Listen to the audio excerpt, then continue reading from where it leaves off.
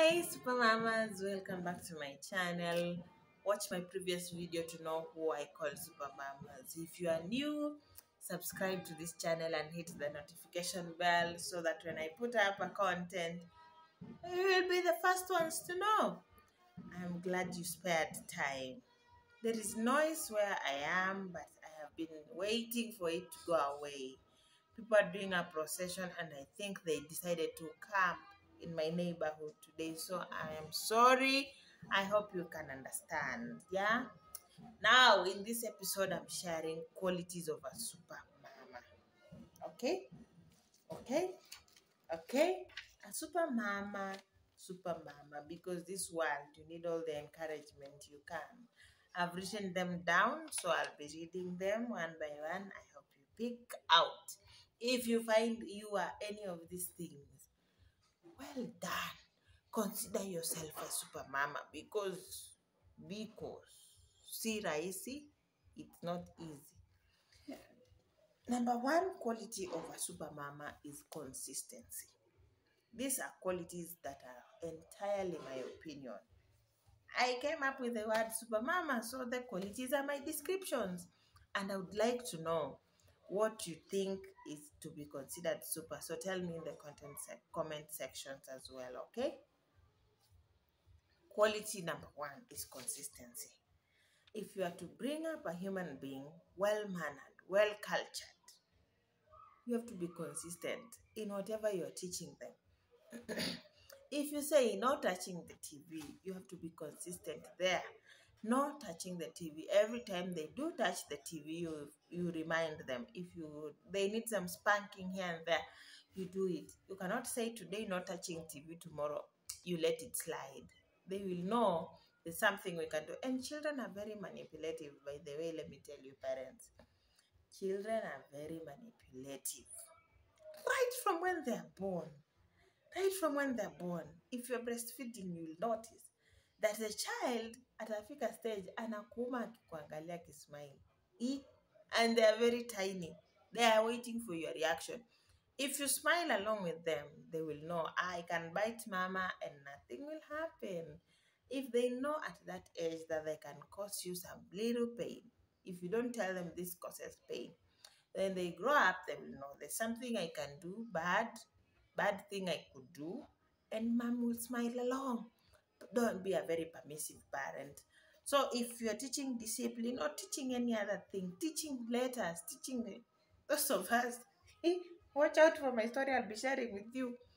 How crazy I was with my firstborn. I wanted my, my one month old to be speaking Spanish, talking Latina. Watch out for that video, by the way. If you want your child to know letters here and there, you'll have to be consistent in teaching them because their brain is empty. It's a muscle, like uh, these cartoons. I think one of them has called the brain a muscle. And they say if you train your muscle very frequently, consistently, it will grow stronger. Just like you, if you knew how to cook chapati 10 years ago and you've stayed for 10 years without cooking chapati, not even once, I don't know. Tell me in the comment section, will you still be able to cook the chapati 10 years of not trying? I don't know. So you need to be very consistent, especially in teaching. And teaching a child requires a lot of repetition. Yeah, it requires a lot of repetition. So you repeat, you repeat, and you don't get tired. You repeat, you repeat, you repeat. Okay? Consistency is a very good quality of a super mama. Number two, hardworking. You need to be very hardworking. Hardworking. Hardworking here, I mean, if, like I've shared, uh, have I told you why I consider, yes, I must have mentioned in one of these videos. I consider myself a super mama for those who are new and watching this video for the first time because I am a mother of two and I think I'm young. Msione uso wangu imenona. It's baby fat. It's baby fat. Na itaisha by the way. I think I'm fairly young. And at my age, I am a mother of two, which is not bad. Which is not bad. It's very good. I feel nice. I don't have a nanny. and I'm a full time hustler looking for money. You know, you need money to raise children. Children are very expensive. Don't, hey, let me tell these teenagers out here. If you already have a child, welcome on this journey. We will walk it together with you. Yeah? Yeah, regardless of whatever circumstances. We will walk together with you because the child is here. But if you don't have a child and you're a teenager, you do not have a source of income, my friend, abstain from any activities that might make you have a child. Okay? Because a child is very expensive. if you want your child to grow up, unless you just want to let them grow. But if you want your child to grow up decently, properly, well, well dressed, even well fed, even, it's very costly. Yeah, and uh, so I'm a, I hustle, I hustle here and there. Maybe one of these videos I'll tell you what I do, what I do. So I think it's a lot of work, and I'm a mom, a wife, a hustler, a housekeeper, a homemaker. So I think I consider myself a daughter and a daughter-in-law, who a mentor.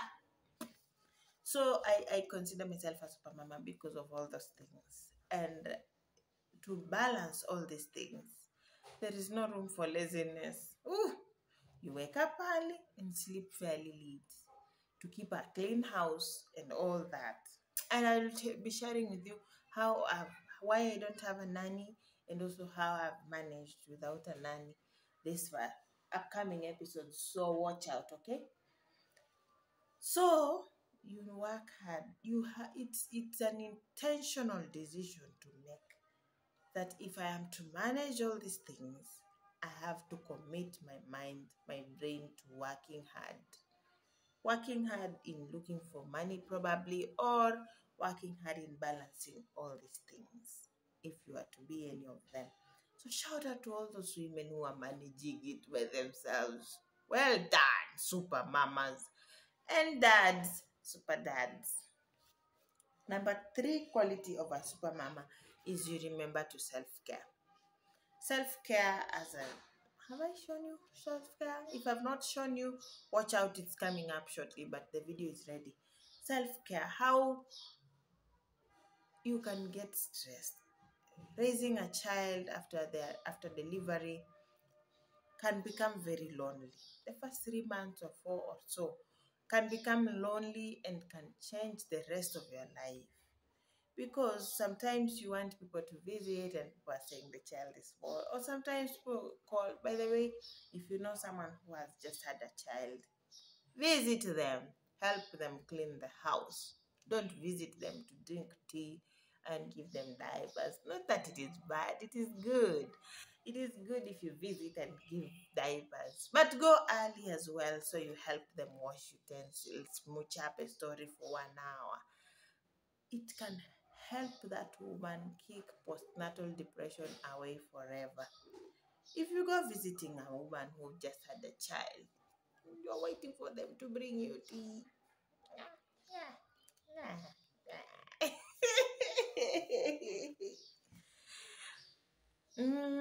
No offense, but it can really be a lonely moment for you as a super mama. So you have to be intentional about your self care it can really be involving involving. Child is demanding this husband is also wondering because they also just got born. A father was born with a child.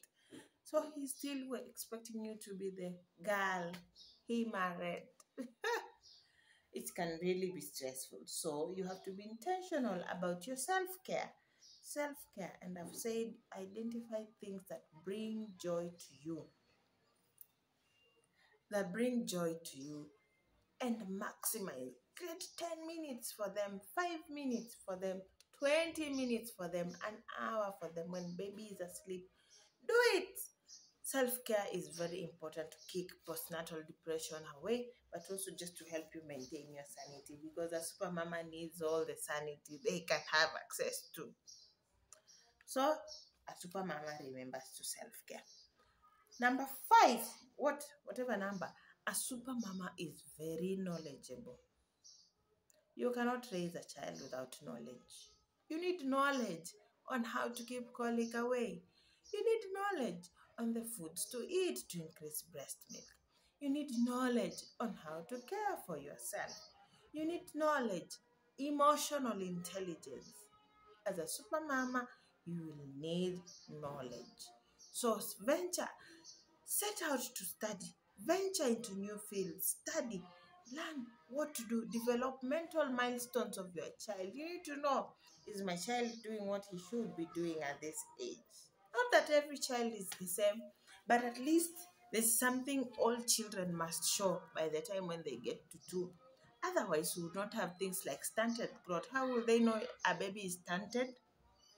You need knowledge on nutrition. Now that I've mentioned stuntedness, you need knowledge on nutrition, what to feed your toddlers, what to feed your babies at what age. You need knowledge, okay? Let's wait for that noise to fade. You need knowledge, super mama. You cannot just expect the child to grow. So if you are there, sitting, sitting, sitting what? Sitting, sitting pretty, sitting pretty.